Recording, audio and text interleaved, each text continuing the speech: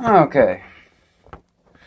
So, I've had a couple friends that they've had this and two within about a month. They use this Traxxas uh, Easy Start wand and for some reason the glow plug light goes out. The glow plug is fine. A brand new glow plug. Um, I've done a video on how to troubleshoot this. Uh, but yet, they're still having problems. So, I was just sitting around thinking, usually, glow plug igniters like these, uh, this one fully charged puts out about 1.8 volts. This is a Dynamite LiPo glow plug igniter. The battery, when fully charged, it's a one cell. It's 4.2 volts. It has a voltage regulator that brings it down to 1.5 volts, which is what you usually want with a glow plug. This is a glow plug. This is what is going to ignite your engine. So, the problem is, I'm wanting to start my RC car. I don't have one of these. Or I have one of these, but I don't have a C battery to put in it because some of them actually work on C batteries. And I want to get my glow plug glowing so I can start my motor, but I can't. Uh, I have nothing to get it to start glowing, so I started thinking, okay, how many double A's is it going to take to get this glowing? So basically, first I took one double A and just used some tape holding some wire on wires in place and put it to the glow plug. It didn't start glowing. And then I put two batteries in series and basically with that you connect the negative and the positive of two AA batteries, negative and positive, negative, positive, and that puts it in series. So that will bring the voltage up to an amount that will actually make the glow plug ignite. Now with a glow plug, you have to remember the center section, this little piece at the very top, is the positive terminal. The sides of it, the, the pretty much the casing, is the negative. So, if I take the positive and wrap it around the glow plug, all you need is some uh, about 16 to 18 gauge wire and then touch the touch the negative from the second battery to it, your glow plug will actually glow. I've seen some people, I mean, let me make sure that that came on. See, you can see it's actually glowing. And it's not glowing too hot. It'll get your nitro started. I've seen some people that put four double A's in one of these, cut these, cut this JST connector, this is a JST connector, also known as a receiver battery connector. You connect this to, with batteries, you connect this to this, right here, and it'll send, oh wait, wrong way, right here, and it will power up your receiver, sending voltage to your servos and stuff like that. Now that's 6 volts. That is a very quick way to blow a glow plug. And that's why first I was thinking, well, one AA battery is 1.5 volts fully charged. Well, I tried that. Wasn't enough. Uh, so I tried two glow plug batteries. I mean, uh, two, I said glow plug batteries. Uh, one AA battery didn't have enough voltage, uh, to push enough current through to get the platinum filament to start glowing. But when I put two in series, as you can see, there's there's no trickery here. There's only two batteries, two AA batteries in series. And I have my glow plug glowing. No glow plug igniter. So with like this vehicle right here, I could take this right here and wrap it around the top post and then there's two ways you could do it but the best way would be to touch to the side of the uh, glow plug but you can also ground the ground the negative side out to the block and that will also get it to glow I've seen like I said I've seen a lot of people that have used four double A's. That is a very, very quick way to blow your glow plug. Just burn it out. It's going to burn out because that's too much voltage. Uh, voltage is pressure, and too much pressure will cause these to just pop. Uh, the filament will break because too much pressure. Uh, like if you had a closed circuit of water, if you put too much pressure in it, it's going to break. One of the hoses is going to break. So that's basically what this little filament is. It's like a hose, and then when you put this through it, that pressure building up creates heat. And that's how you get a glow plug to ignite.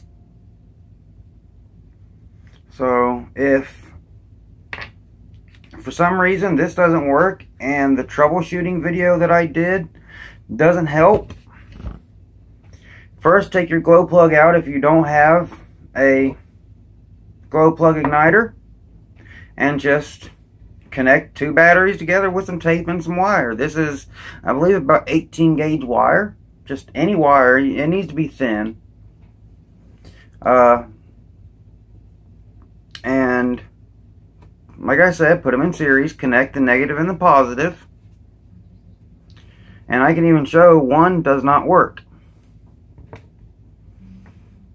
At least when I tried it just a second ago, it did not work. We'll try again. So this would be negative.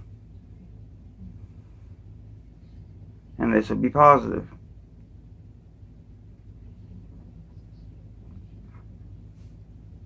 See, there's that one battery doesn't have enough juice in it to pump enough current into that to get it to glow. But when I take a second battery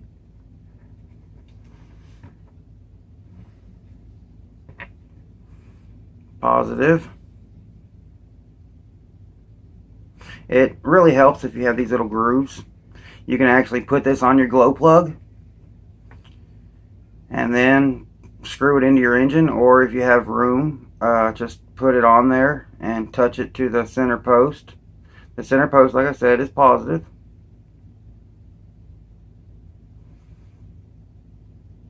And then touch the negative and you get a glow plug that glows with just two AA batteries. AA batteries really don't put out a lot of current. So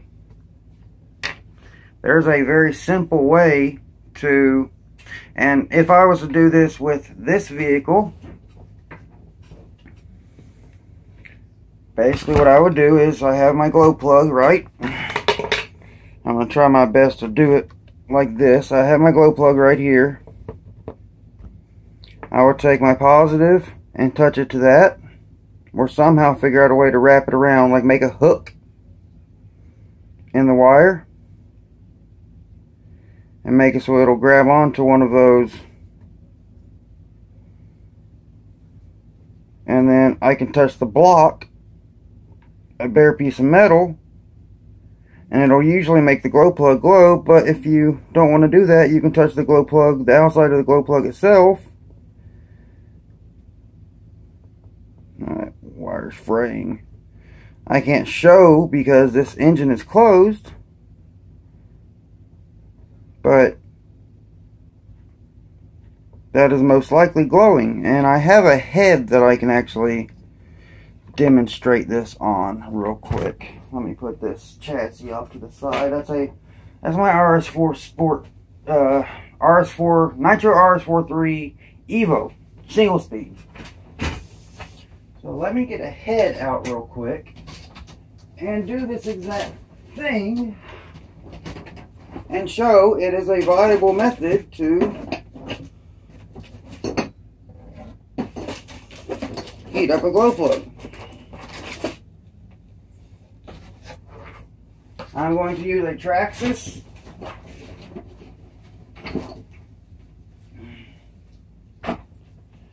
This is a Traxxas uh, 2.5 head. So, I need my glow plug wrench. There you are. I actually made this myself. I took a piece of foam and it's sort of like a, a uh, spark plug wrench. It holds the glow plug in place. Uh, I don't really need a copper just for showing this. I don't need a copper gasket. So, I'm going to put this down into the head.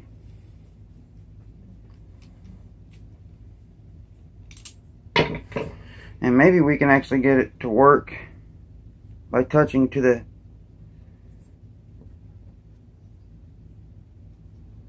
I mean it's a little tedious because so small. Yeah there you go. All you gotta do is ground it out. And you have a glow plug that's glowing to get your nitro engine started Now you can see that's that's glowing and I'm not even the only part of the glow plug that I'm touching is the uh, center post. Because that's the part that you have to touch. You don't want to do this method a lot. Uh, you don't want to keep it on there that long. You just want to keep it on there long enough to get the engine started and then pull it off. Uh, because this is let's actually measure the voltage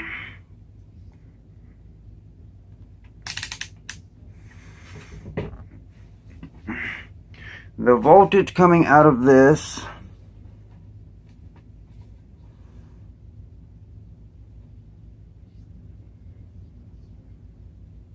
crap.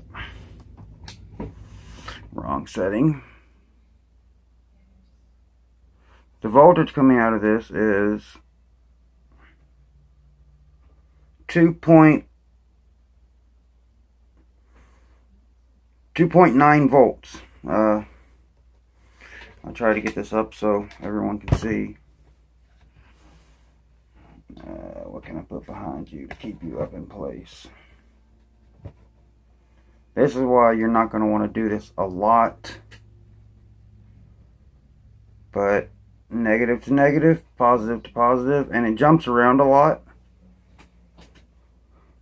But you can see uh, it's more than 1.5 volts, but a single AA battery alone doesn't have enough voltage, well, current to push the glow plug. But if you add a little bit extra voltage, you'll get it to glow and your nitro engine will start. And I actually sent somebody a carb. Uh, he actually ended up breaking this brass fitting off. This is known as a high-speed needle. This is, you got the low speed and the high speed. And some carbs, like older HPI carbs, it doesn't even have a low speed needle. All it does is have a high speed needle. Like that chassis that I just used, uh, there is no low speed needle. Uh, it's already set from the factory. So all you have to do is set your idle and then turn it back and forth. There's this is a uh, rotary style carburetor because it spins, and this is a slide type carburetor because it actually slides open and shut. But I just thought I would do that to show some people, uh, especially those that are having problems with either their glow plug igniter isn't working, their Traxxas easy start isn't working, uh, their Losi easy start isn't working, uh, several different things. Something's not working. So here is an alternative to get your glow plug glowing so you can get your motor started. And let's actually try to use this and start a vehicle. this works. Nothing fancy, just the same setup. I just have a wire coming out of the top probe.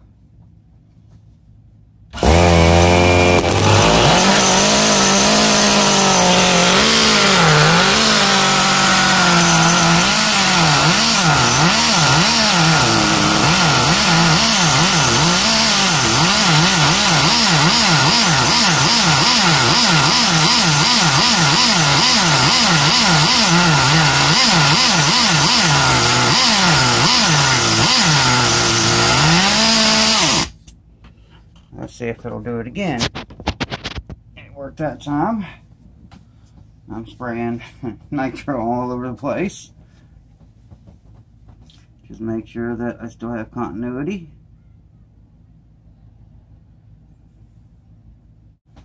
Okay.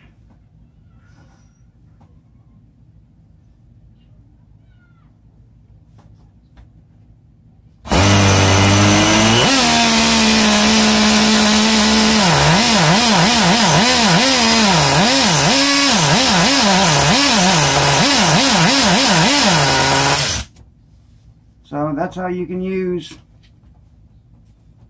two AA batteries as a glow plug igniter and you can leave that wire right there on there.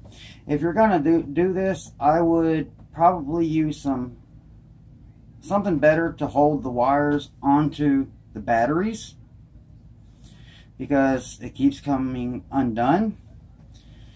But if you don't have a glow plug igniter, it's a great way to get your nitro running. Uh, I'm sorry this is a little long, but uh, this is the first time I've ever tried this. I was just seeing if it was possible. Yes, it is. So, I hope this helps some people. So, peace.